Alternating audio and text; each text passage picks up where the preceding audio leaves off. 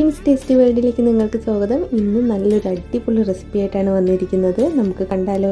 Twins tasty വേൾഡിൽ നിന്ന് നല്ല പഴുത്ത നേന്ത്രപ്പഴം വെച്ചൊരു റെസിപ്പിയാണ് പഴം നമുക്ക് ഇതുപോലെ ഒരുപാട് തിന്നുമല്ല തിക്കും അല്ലാത്ത രീതിയിലൊന്ന് കട്ട് ചെയ്തെടുക്കാം വട്ടത്തിന്.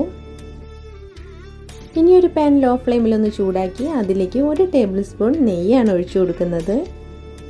നെയ്യൊന്ന് ചൂടായി വന്നിട്ടുണ്ട്. ഇതിലേക്ക് അരിഞ്ഞു വെച്ചിരിക്കുന്ന പഴം നിരത്തി കൊടുക്കുകയാണ്.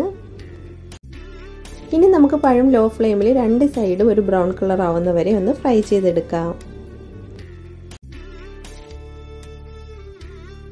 ഇനി ഇതിലേക്ക് രണ്ട് ടേബിൾ സ്പൂൺ ഷുഗർ ഇട്ട് കൊടുക്കുകയാണ്. ഷുഗർ നല്ല രീതിയിലൊന്ന് മെൽറ്റായി വരണം. ലോ ഫ്ലെയിമിൽ വേണം നമ്മളിത് കുക്ക് ചെയ്തെടുക്കാൻ.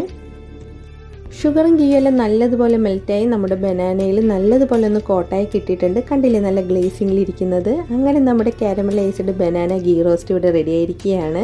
പണ്ട് അമ്മ ഉപ്പാവനും പുട്ടിനും കൂടെ കഴിക്കാൻ ഉണ്ടാക്കി തരുന്ന ഒന്നാണ് കേട്ടോ ഇത്. നല്ല ടേസ്റ്റാണ് കുട്ടികൾക്കൊക്കെ ഒരുപാട് ഇഷ്ടപ്പെടും.